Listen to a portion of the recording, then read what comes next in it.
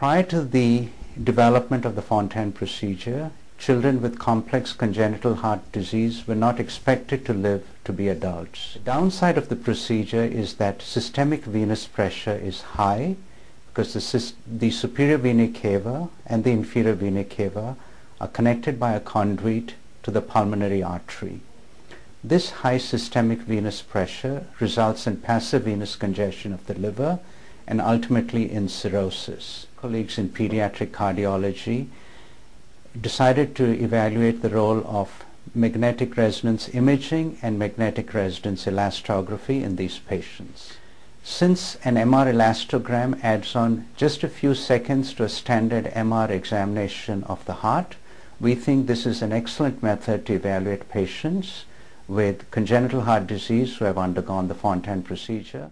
This video content is copyrighted by Mayo Foundation for Medical Education and Research.